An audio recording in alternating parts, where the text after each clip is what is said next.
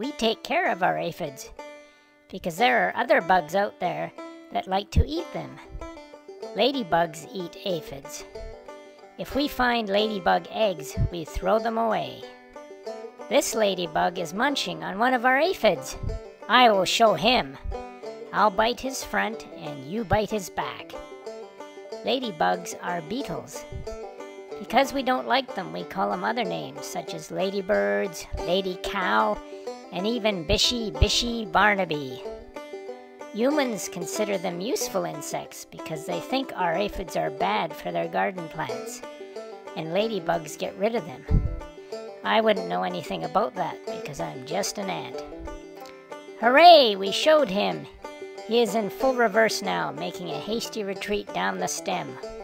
Go away, lady cow, Bishy Bishy Barnaby. Now I can get back to work, milking the aphids.